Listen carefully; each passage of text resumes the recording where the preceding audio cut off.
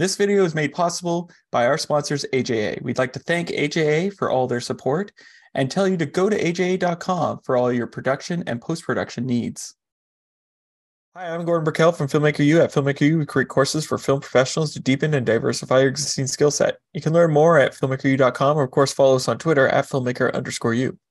Every week, we interview a film professional to discuss their work, and this week I'm joined by editor Sandra Torres Granovsky, uh, whose work includes Promised Land, The Opening Act, and more recently, Scrambled. Welcome to the show, Sandra. Thank you. Uh, I get me. Sorry. no. I guess my first question for you is: uh, you got your start with Dan Lebental. Yes. Um, so, what did you learn from your tenure with him?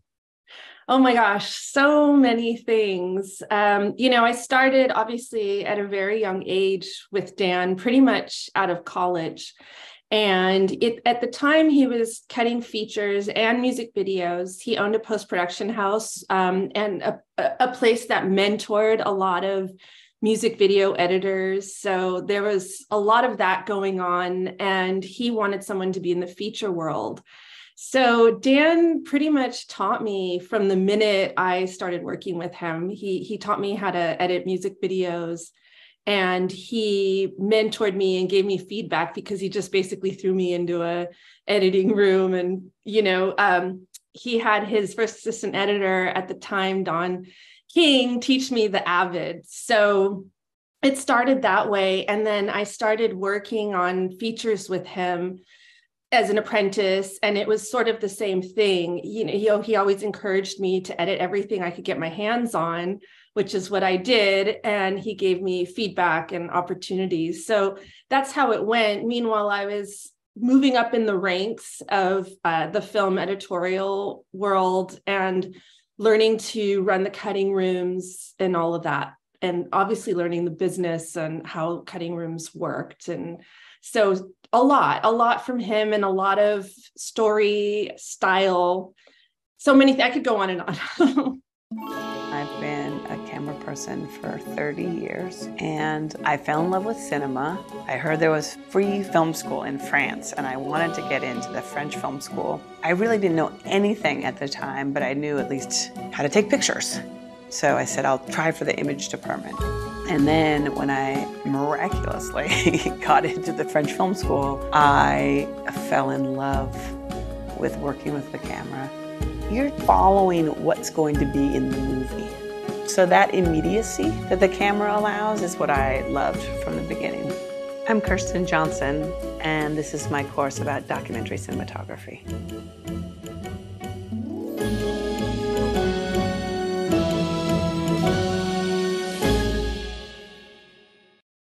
Now you now you've worked on Scrambled recently. yes. Um, that was Leah McKendrick's feature debut. So, uh, as an editor working with a first-time feature director, what were uh, some of the things you had to sort of tackle, or how do you figure out that working process? Because they're not they're not into that rhythm yet of making a feature, or they haven't experienced it yet.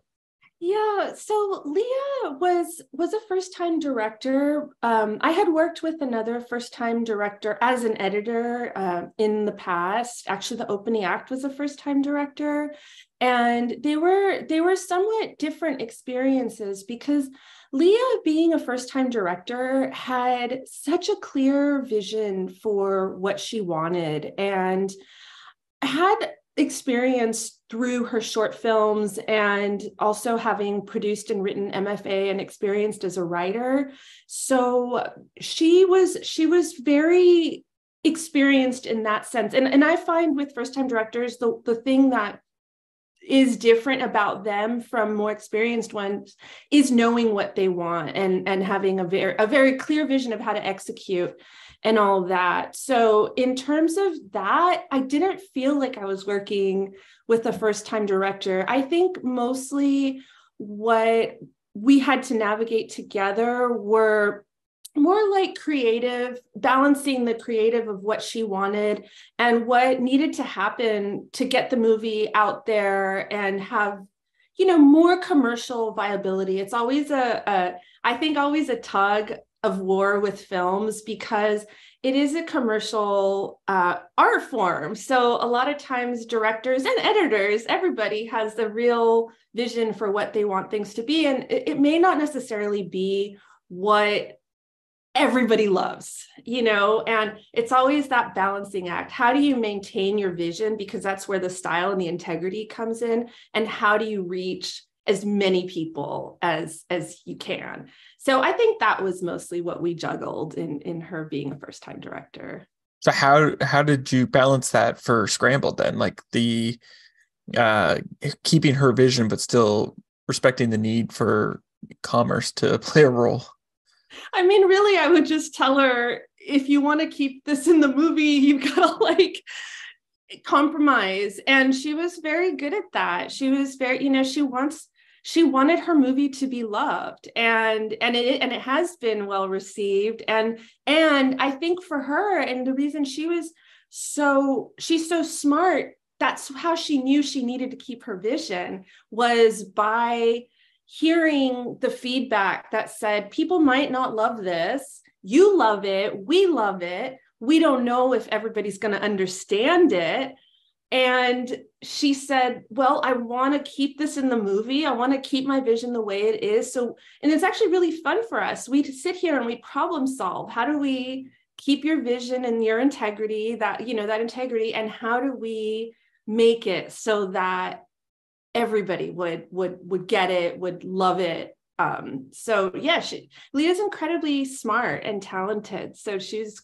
quite easy to work with in that sense.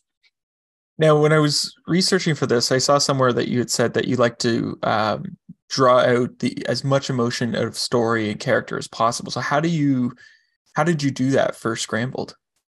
Well, it's it's funny because the only answer, and I'm probably really repetitive when people ask me this, this is it's really always my instinct. I feel like if I didn't have my instinct, I'd be lost. And I'm sure that my experience plays into that instinct and I just naturally know what to do. But also, it's really just a matter of when you're cutting a scene, it sounds crazy, but you just sort of hear a voice that says, I want to see this next. I want to see that next. Um, this character needs to do that. That character needs to do that. And then when, when you're reviewing things, you really just hold yourself accountable and you and you don't you don't consider yourself finished until you're feeling something whatever it is you're meant to be feeling whether or not you should be laughing or you feel like you should laugh or you want to laugh or you should feel moved in a certain way. So that's how i know i've succeeded is if if if i'm feeling something or even if it's just a montage and you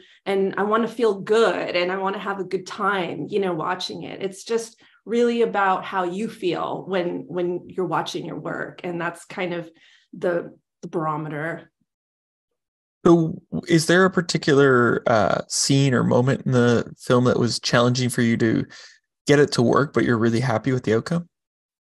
Yeah i think i think the montage scenes uh, were the the the most challenging for me in particular and uh, Leah will sort of laugh because she I always would slog through them and and and because for me I think I do lean into the emotionality of a scene and montages are a lot of work and they're they have a lot of cuts and they're these kinds of things that sort of just end up coming together at the end. You start pulling selects and it feels a lot like a slog, but then at the end, you're really satisfied. The process is really tough. Um, and for me in particular, not as fun or fulfilling as, let's say, the dialogue scenes or the emotional scenes and stuff like that.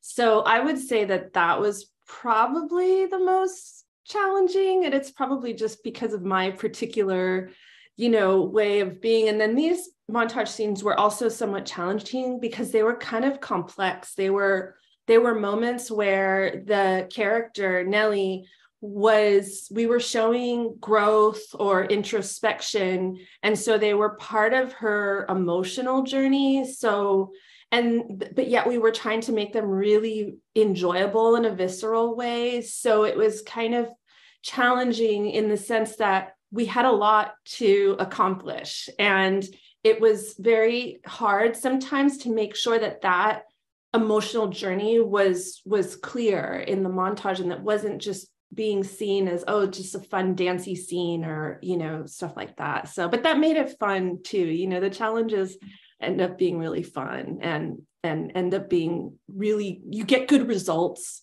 because you put so much energy into it now you sort you've mentioned you know getting the emotion out of things and what have you and working with that.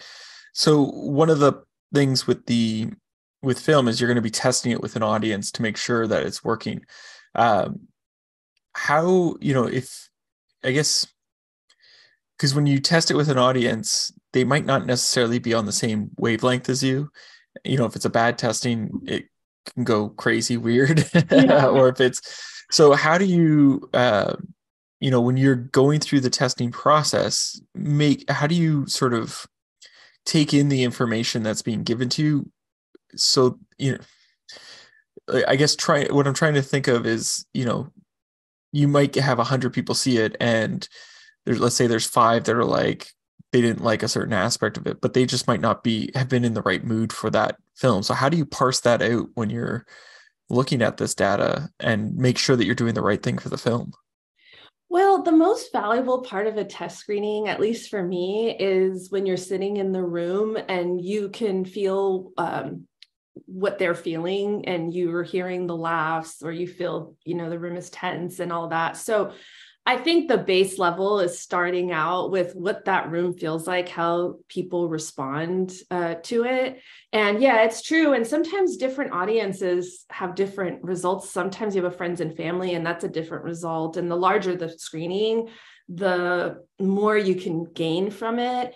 But with with the feedback and the data, we'll see repeating uh, feedback, and also we've we almost value the the criticism more than we do so what people love because a lot of times it's most of the time it's valid even if someone is in a, in an off mood or didn't get the film. And there's sort of what's most important is again seeing the pattern. You see something repeated a few times you know you have to address it. And then also deciphering what the note is behind the note you know, understanding what it is that's not working, even if you think, oh, this is great, I love it, something's not right if people aren't receiving it. And so then that begins this work of, okay, what what what are they feeling? What's not right? And then luckily we can keep, you know, going back and, and seeing what people have to say to see if we resolved something. So how do you when you get the footage in for the first time, um, how do you sort of I guess assess it to figure out which which shot you you like to use. Like, what are you judging, or how do you judge the the performance when you first look at it?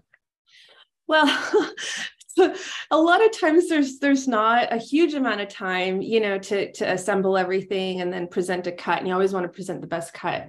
So you know, it's a little embarrassing, but I'll say that I usually start with like the second to last take and and usually I have an idea of what I want to see. So if that second to last take is is working, I'll leave it. If it's not working, I'll start digging through other takes and also eh, or or if it's not giving me what I want, if I have a certain point of view and I'm not getting it, then I'll start digging. And you'll also start to see a pattern in the dailies because you know every director is different, every actor is different. You'll start to see a pattern of which is always the best take? It's sometimes the last sometimes it's the first you know? So so you'll start to see patterns and you'll know how to quickly go to those things. But initially i start off with the second to last. So now i guess my last question for you what would you say is your favorite guilty pleasure film or tv show to watch Oh, well, there's so many, but the one that always comes to mind first, and I, I don't know if this is so much a guilty pleasure because I think it's a brilliant film, is probably The First Wives Club. Oh, it's yeah. My ultimate favorite films. What is it about that that uh that film? I think it's so touching. It's such a touching film. It's so funny. The actresses or actors are so good and it's so well made. It's just such a perfect um, story in the sense that it's entertaining. It's got so many ups and downs. It's funny and it looks beautiful. So so it's just so which is why I say even though it's a it feels like a guilty pleasure, it's really in my mind a very good film. Well, and if if I remember correctly, because I interviewed Dan Lebental many years ago, and I think his was uh, the Disney sports movies for kids. which, doesn't surprise me. And he was just like, "There's something about them. You know where it's gonna go, but it's just a fun film to sit down and enjoy." Yeah. Thank you so much for letting me interview today. Oh, thanks for having me. It was so much fun. And that's it for this week, everyone. Uh, make sure to check us out at filmmakeru.com or, of course, follow us on Twitter at filmmaker underscore you. I'm Gordon Burkell. Thanks for watching. This video is made possible by our sponsors, AJA. We'd like to thank AJA for all their support and tell you to go to aja.com for all your production and post production needs.